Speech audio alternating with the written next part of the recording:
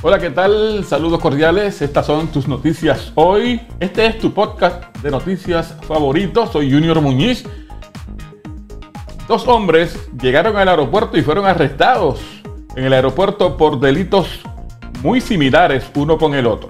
Esto ocurrió en el aeropuerto internacional Luis Muñoz Marín en Carolina, Puerto Rico.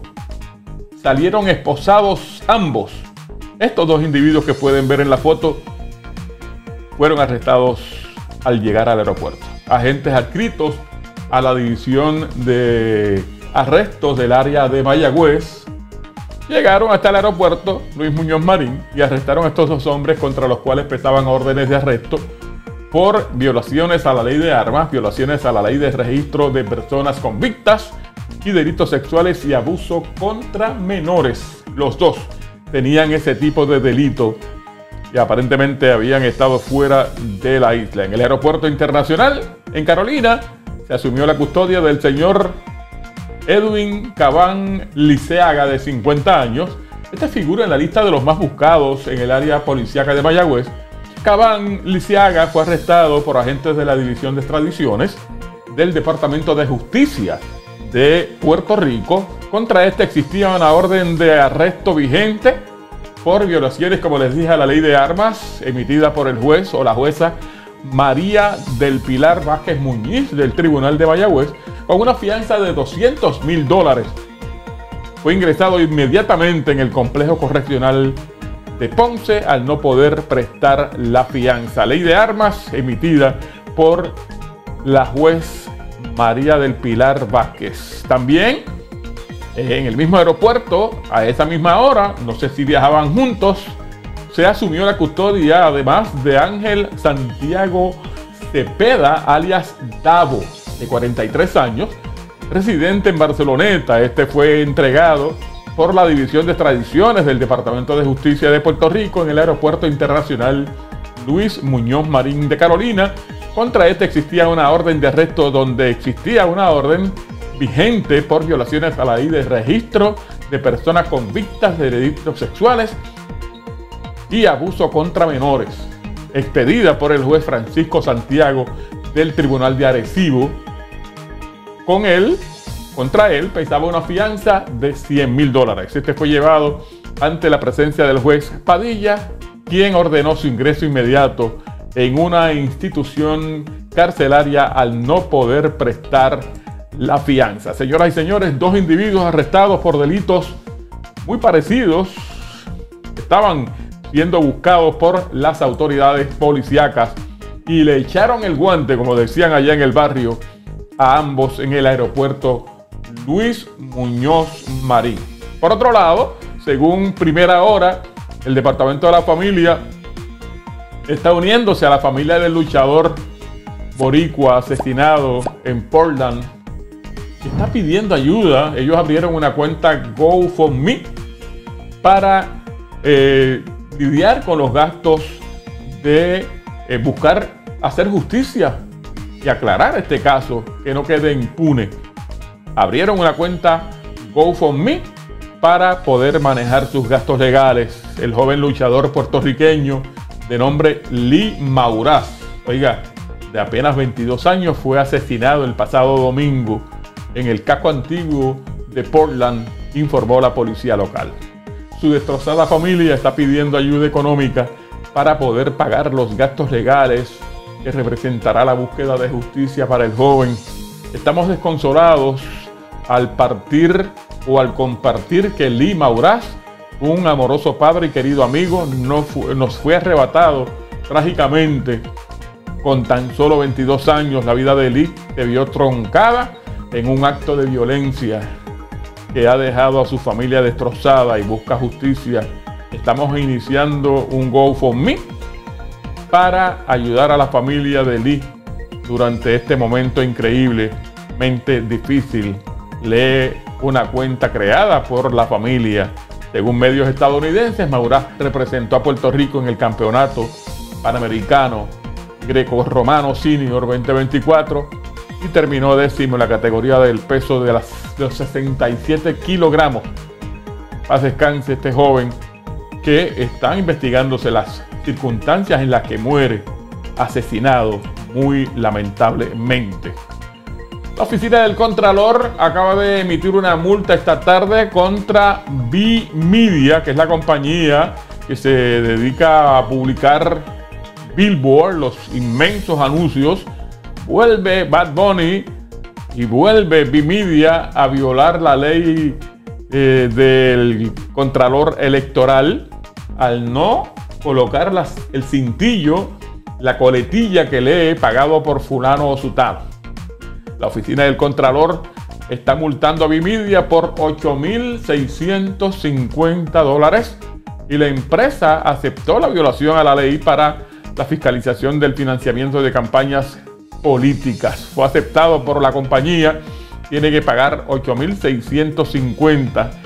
No le colocó la coletilla informando de qué fuentes vienen los fondos para pagar los inmensos anuncios colocados en diferentes lugares estratégicos en el área metropolitana. Sería la segunda ocasión en que ocurre esto con esta compañía.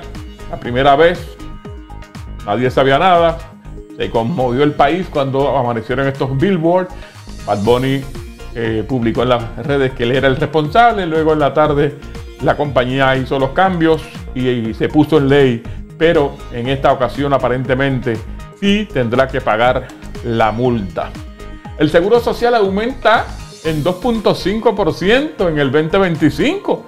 Son 50 pesitos más en la cuenta. La Administración del Seguro Social anunció hoy que los beneficiarios del seguro y los pagos de seguridad de ingresos suplementarios eh, aumentarán un 2.5% en el año que viene, 2025, lo que beneficiará a más de 72.5 millones de personas en los Estados Unidos. El aumento promedio de los beneficiarios de la jubilación será de más de 50 dólares a partir del próximo mes de enero.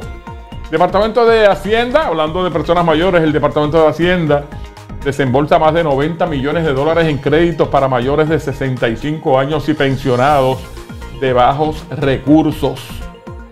El secretario de esa dependencia, Nelson Pérez Méndez, Méndez, informó que pagó más de 90 millones de dólares en créditos para personas mayores de 65 años y pensionados de bajos recursos y recordó a los ciudadanos elegibles que el periodo para reclamar el crédito senior vence el próximo lunes 14 de octubre.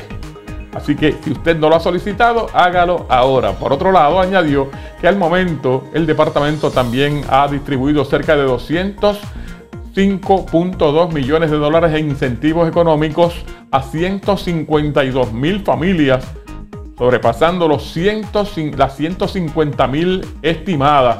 Este beneficio se otorgó a individuos elegibles de la clase trabajadora que no cualificaron para recibir el crédito por trabajo. Según nos dice Noticel en internet, el resumen de lo ocurrido en la Florida luego del paso del huracán Milton. 13 personas lamentablemente perdieron sus vidas y millones de dólares en pérdidas materiales. Lamentablemente.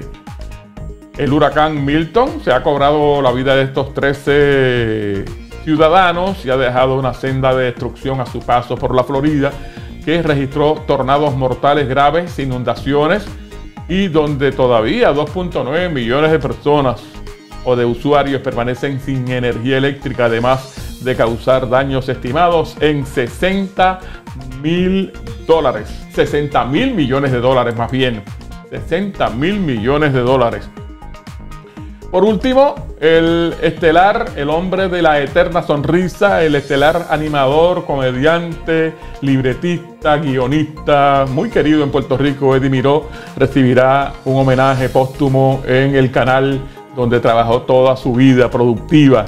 Eddie Miró recibirá un homenaje póstumo en Telemundo. La familia del querido animador Eddie Miró anunció los actos fúnebres en honor a la reconocida figura de la televisión puertorriqueña Eddie Miró, que falleció la semana, esta semana a los 89 años de edad. Como parte de los actos de honor a Miró, se realizarán varios eventos, entre ellos un recibimiento y una guardia de honor en los estudios de Telemundo en Atorrey San Juan, Puerto Rico, el próximo lunes 14. Luego será trasladado a la funeraria Eret, donde se realizará un velatorio. Su sepelio se llevará a cabo en el cementerio de Morovis, de donde era oriundo Eddie Miró, el martes 15 de octubre. El veterano animador falleció el 9 de octubre tras haber estado ingresado en el Hospital Centro Médico desde el 26 de agosto, luego de una caída.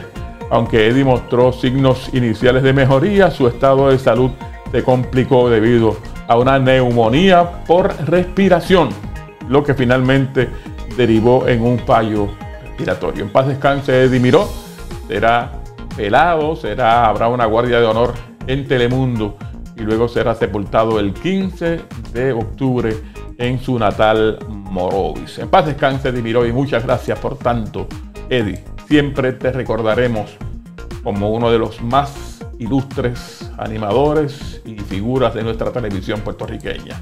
Paz descanse. A ustedes amigos, gracias por siempre estar conectados con nosotros. Soy Junior Muñiz desde Yauco para todo el mundo. Gracias por estar con nosotros. Síganos en todas las redes sociales.